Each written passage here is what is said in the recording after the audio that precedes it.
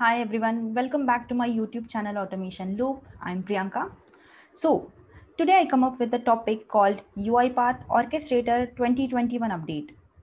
As you might aware of, UiPath has come up with a 2021 update and you will find a major difference in the orchestrator as compared to the previous version. So in this video, we are going to discuss about the 2021 update of UiPath Orchestrator and what are the changes happen in this update. So watch the video till end to clear the confusion. So without any further ado, let's get started.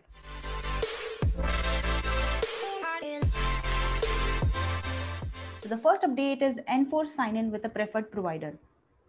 That means organization administrator can now choose to enforce the Google or Microsoft as the only sign-in option for a user.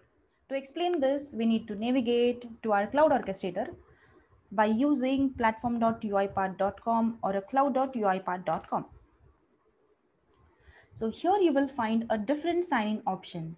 So organization admin can choose the Google or Microsoft as the only sign-in option so that user can log in or sign in with that option only.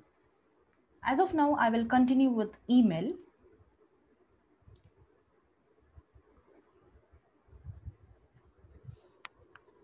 So to enforce the sign-in option with a preferred provider, admin can go to admin, then users and group. And in the authentication settings, we can choose the option to enforce the sign-in with preferred provider.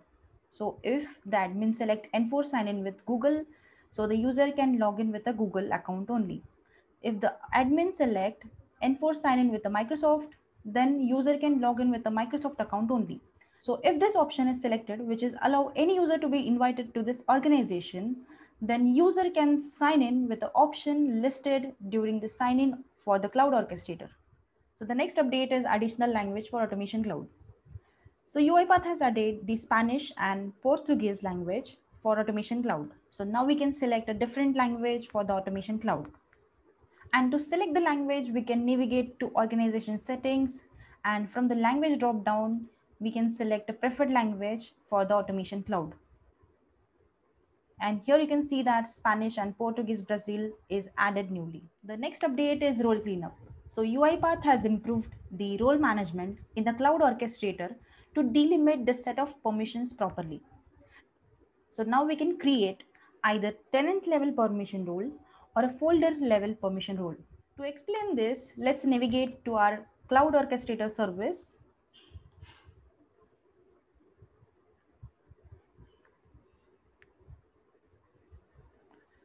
And if you go to tenant and role section or a role page, you can see that there are three types of a role, mixed, tenant, and folder.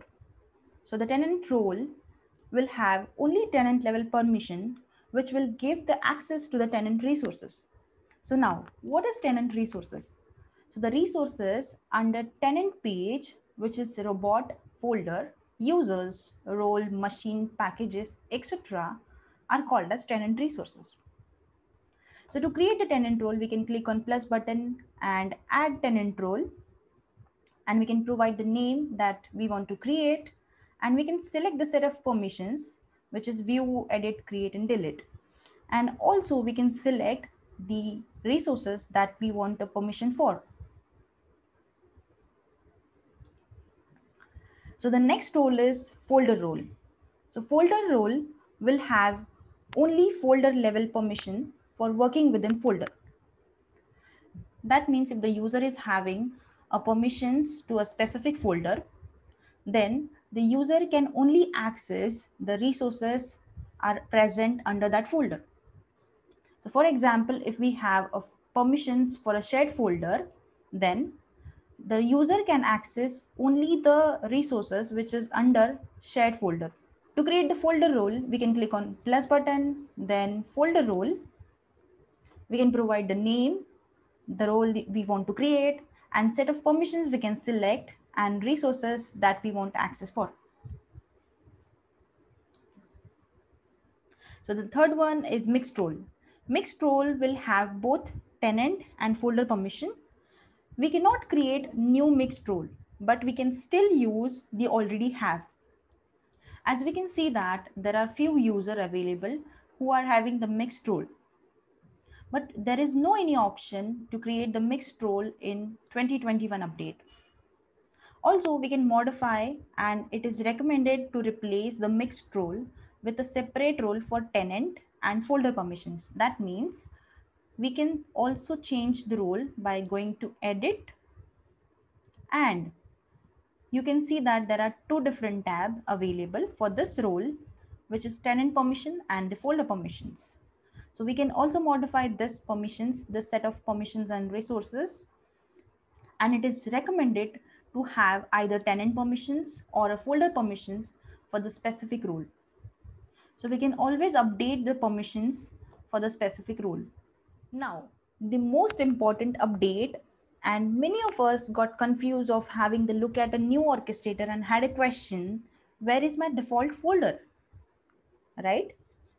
Even I also got a lot of comments on my YouTube channel stating that there is no any default folder in orchestrator.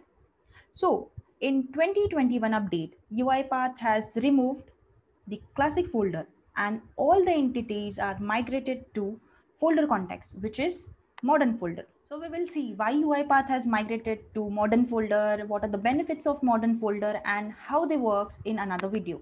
Also, you will find the personal workspace folder, my workspace, which is also a modern folder created automatically when user is provisioned in the orchestrator. So this folder is dedicated for attended automation or attended user. So we will discuss about this topic in detail in a separate video.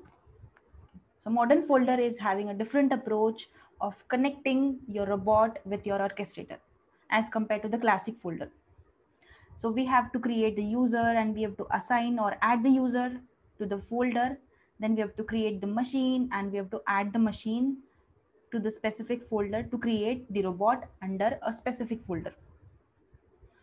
So we will see the approach of connecting UiPath robot with orchestrator in a separate video. So the next update is license management.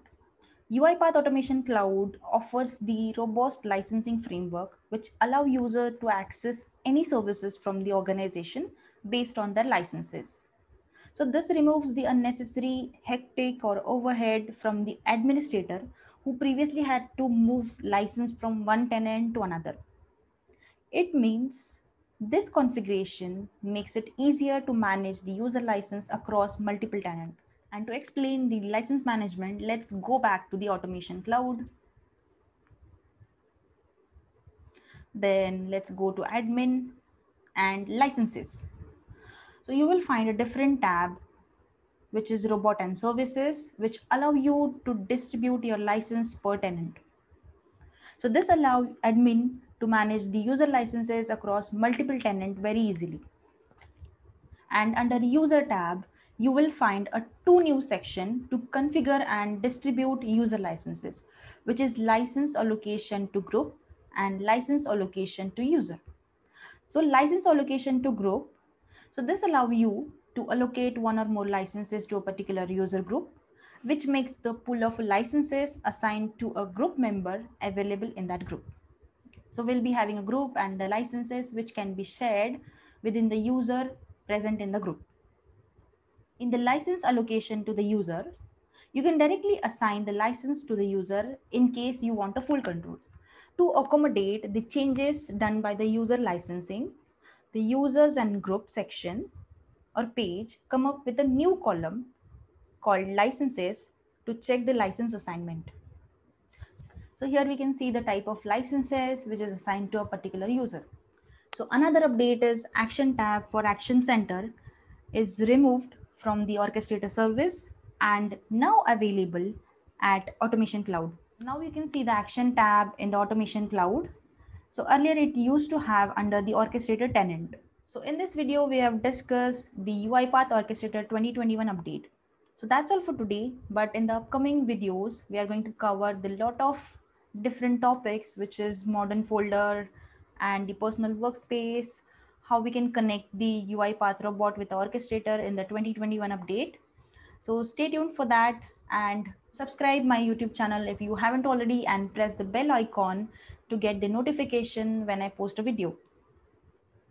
So thanks for watching. See you in the next video. Bye-bye.